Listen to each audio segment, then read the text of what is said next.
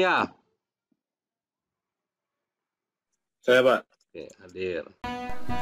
Ayo semangat berbagi, dukung channel Toto Belajar Fisika.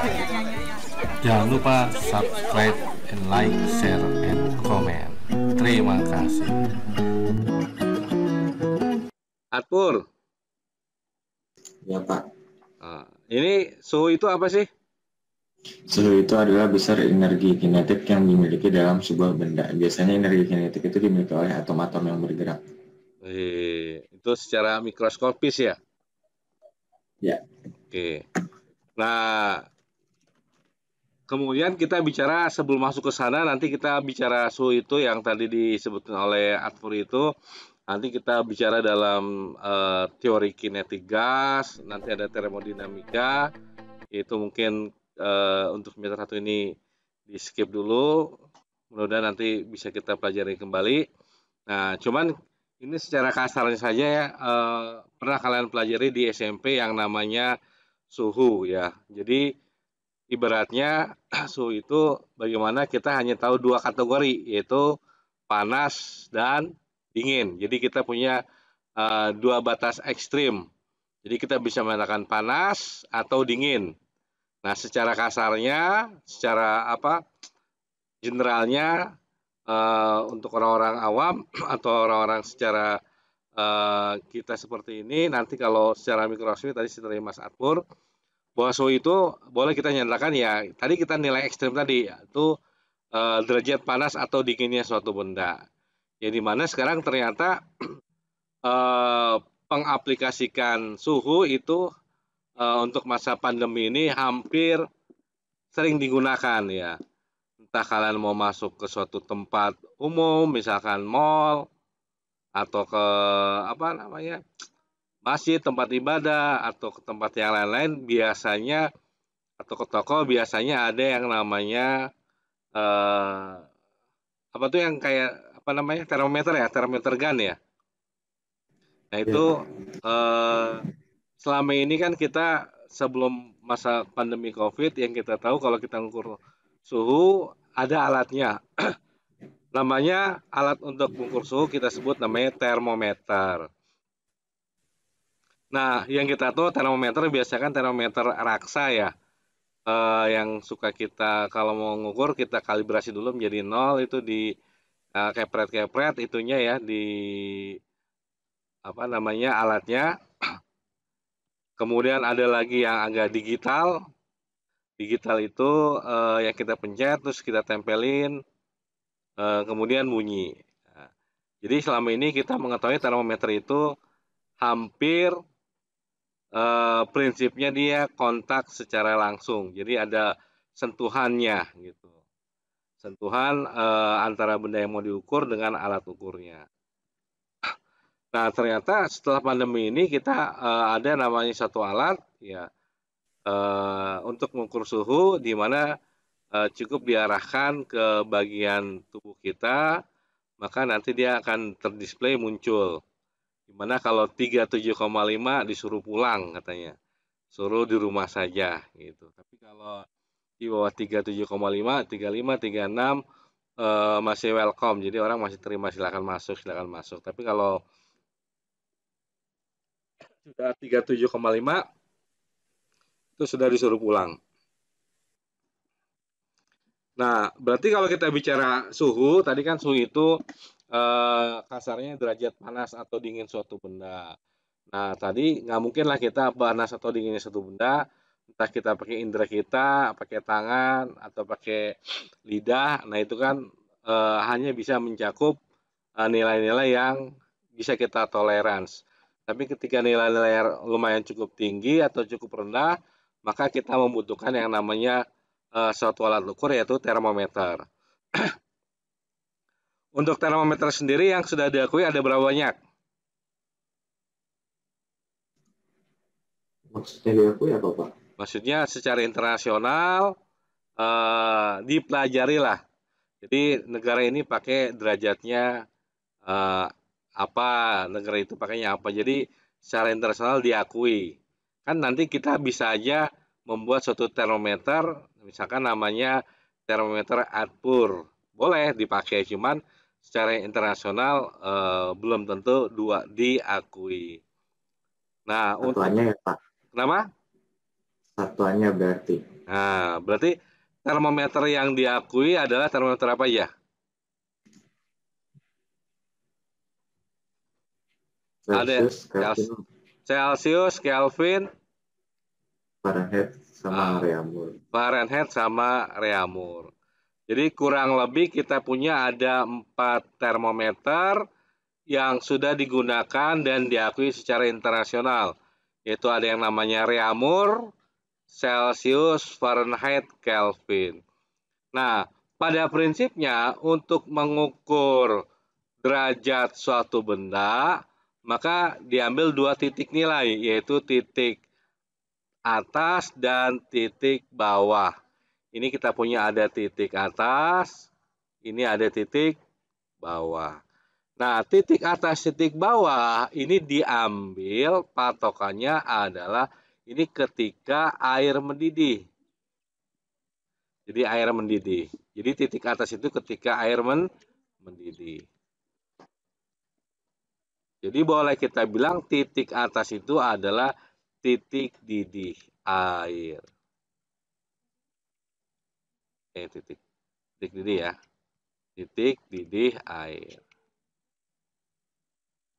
Nah, titik tetap bawah ini diambil ketika air itu mencair atau membeku. Jadi ketika air itu mencair atau membeku, makanya disebut uh, bawah ini titik beku. Titik beku siapa? Titik bekunya air. Nah, jadi pada prinsipnya ketika kita membuat termometer, jadi kita punya dua titik batas, maksimum sama minimum. Titik atas, titik bawah. Titik atas itu sebagai titik didih air, titik bawah itu sebagai titik beku air. Nah, ini mau tidak mau ya eh, kalian harus ingat untuk reamur titik didihnya berapa? Untuk air ya ini Bapak sebutkan air ya. Titik didih airnya berapa? 80. 80. Titik bukunya? Nol. Nol. Oh. Pintar. Kalau Celsius? 100 didihnya nol membeku. Oke, Fahrenheit. 212 sama 32, Pak. Kelvin. 373 sama 273. Nah, itu prinsipnya. Karena misalkan uh, uh, untuk rumus ini sebenarnya bebas boleh dihafal, tapi kalau kita lihat seperti ini, uh, kita main skala. Untuk reamur ini skalanya ini range-nya ini kan dia dari 0 sampai 80 ya. Reamur ini lihat sini range-nya ini 0 sampai 80. Berarti kurang lebih skalanya itu atau range-nya itu 80 kurang 0 berarti kan 80 ya. Ini 80. Celsius berapa? 100. 100. Fahrenheit berapa nih? 180. 180. Kelvin? 100. 100.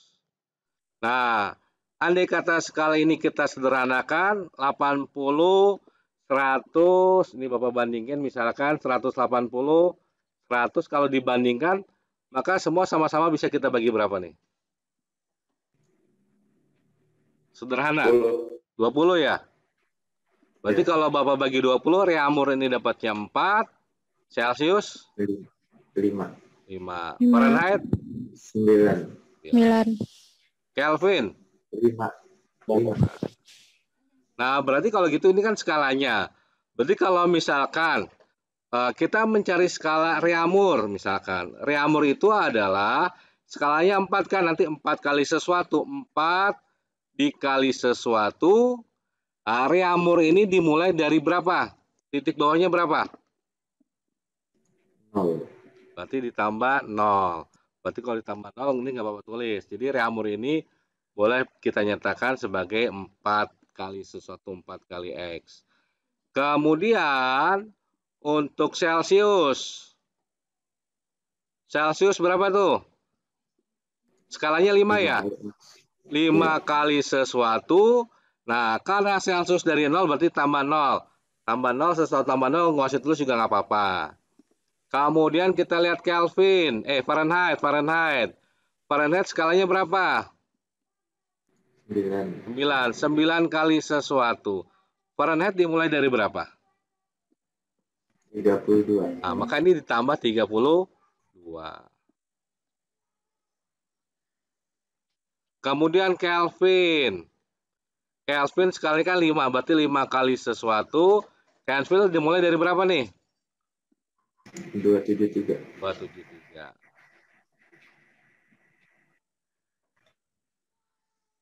Nah, misalkan jadi uh, kita bisa membuat rumus, oke, okay, kalau gitu untuk Reamer itu 4 kali X, Celsius 5X, Fahrenheit 9X tambah 32, uh, Kelvin 5X plus 273. Misalkan Bapak ambil contoh gini. Contoh, uh, suatu benda diukur, diukur dengan termometer reamur menunjukkan misalkan 40 derajat reamur. Maka jika dalam Celsius berapa, Fahrenheit berapa, Kelvin berapa. Nah, ini berarti boleh kita bilang karena yang kita tahu adalah reamur yang 40 derajat reamur. Reamur itu rumusnya adalah 4 kali sesuatu. Reamur nilainya berapa nih? Berarti 40 sama dengan 4 dikali X. Berarti coret, coret, X-nya kita punya 10. 10. Nah, untuk mencari Celsius, tadi kan 5 dikali X. Nah, X-nya kita sudah punya berapa nih? 10 kan? Berarti 5 50 kali 10, jadi 50 derajat Celcius. Kalau Fahrenheit-nya gimana nih? 90 tambah 32, 122. Tambah 32, 100 berapa? 22. 22 derajat Fahrenheit. Kelvin. 5 kali 10 ya? 50 ya. 322. 3 22. 22 apa 23? Eh, 23. 323. 3 23 Kelvin. Sampai sini ada pertanyaan dulu. Uh, ini tidak hanya berlaku untuk Celsius, Triamol, Fahrenheit, Kelvin. Ini bisa aja nanti kalau ketika kita membuat suatu uh, rumus termometer yang lain. Oke, nah Bapak lanjut ke berikutnya. Ini sudah berarti untuk suhu uh, mengkonversi dari Reaumur, Fahrenheit, Kelvin. Uh, sudah kita lanjutkan ke sekarang bagaimana ketika kita uh, pengen membuat satu uh, termometer atau kalibrasi. Ya. Prinsipnya sama, yang jelas kita punya ada titik didih, titik atas tadi, ada titik beku. Ya, misalkan ini ada dua termometer X dan Y. Uh, prinsipnya tadi sebenarnya sama seperti yang tadi. Uh, titik atas atau titik ini titik didihnya, titik atasnya, ini titik bawahnya. Ini titik atasnya, ini titik bawahnya. Berarti misalkan untuk termometer X-nya dulu kita lihat. Maka caranya adalah titik atasnya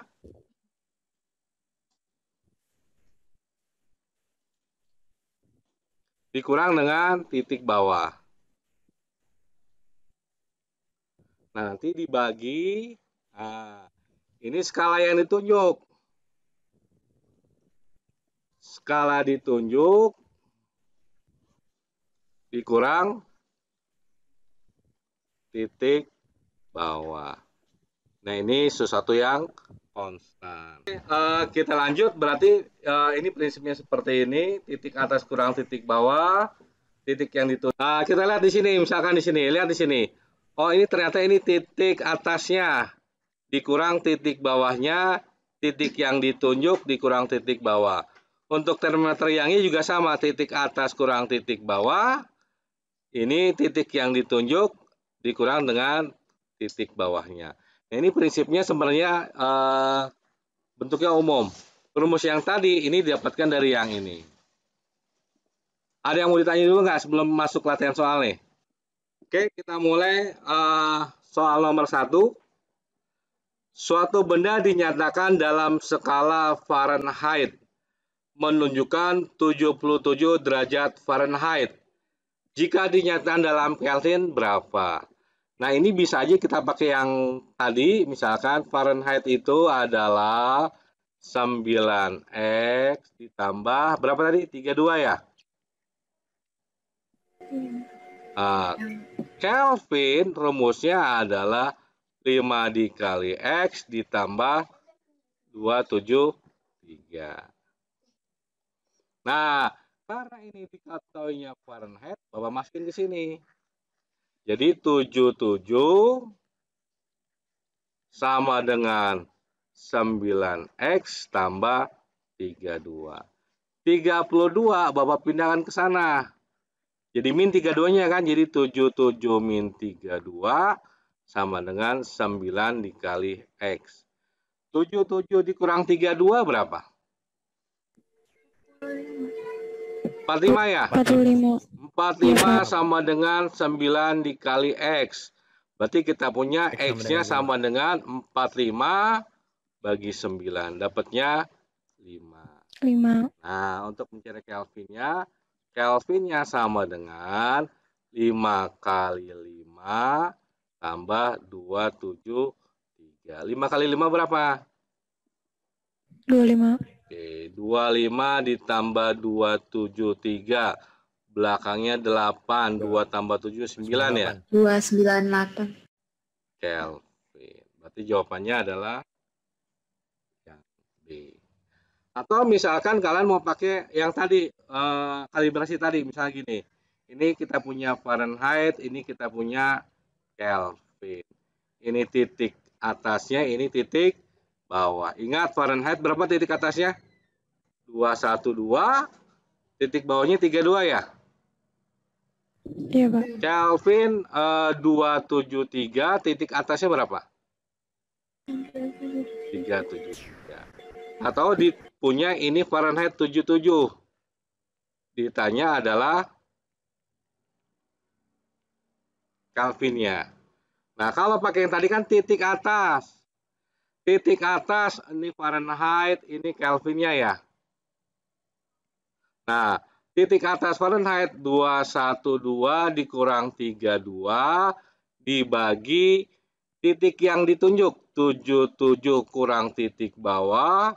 Nah, untuk Kelvinnya titik atasnya 2 eh, 373 dikurang 273 dibagi skala yang ditunjuk Kelvin kan kita nggak tahu bilang aja Kelvin dikurang 273. Berarti 21 uh, 212 dikurang 32 tadi kan 180 ya. 180 dibagi 77 kurang 32 45 sama dengan 373 kurang 273 100 per K min 273. Kalau misalnya sederhana sini coret, misalkan sini coret, oke dibagi dua, sini tinggal 9, bagi dua, sini tinggal 5 ya. Betul kan? Kemudian Bapak bagi lagi, ini bagi 9 habis, ini bagi 9 habis tinggal 5. Berarti eh, kali silang ini 1, ini kali ini 5 dikali 5. 5 kali 5 berapa? 25. Sama dengan K min 273. Min pindah jadi ke sana jadi apa? Plus.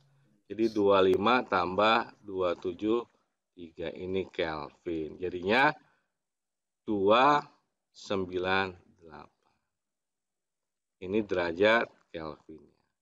Nah, jadi sebenarnya prinsipnya awalnya ya memang dari eh, kalibrasi seperti ini. Rumus rumus ini nanti membantu kalau ketemu ada beberapa soal yang memang kita butuh rumus seperti ini. Ini uh, latihan soal yang pertama. Oke, kalau tidak ada pertanyaan, uh, Bapak akhirnya saja. Terima kasih. Wassalamualaikum warahmatullahi wabarakatuh. Waalaikumsalam. Waalaikumsalam. Waalaikumsalam warahmatullahi wabarakatuh. Terima kasih Pak. Pak. Terima kasih Pak.